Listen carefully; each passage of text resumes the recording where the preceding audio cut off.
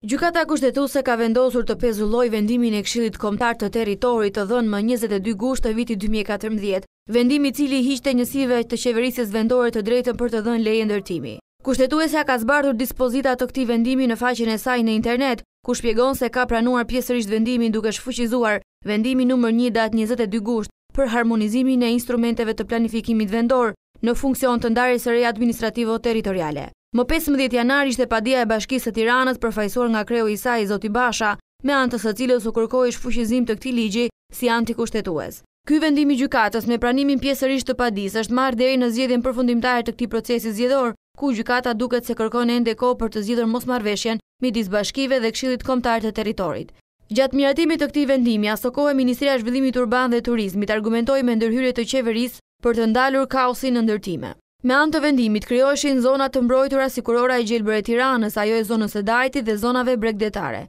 Ndërtimet u ndaluan për një periudhë disamujore në të gjithë territorin shqiptar ndërsa pak ditë më parë qeveria njoftoi lejimin e tyre me kushtin që çdo ndërtim të ishte për arsye banimi dhe i pajisur me leje nga autoritetet përkatëse.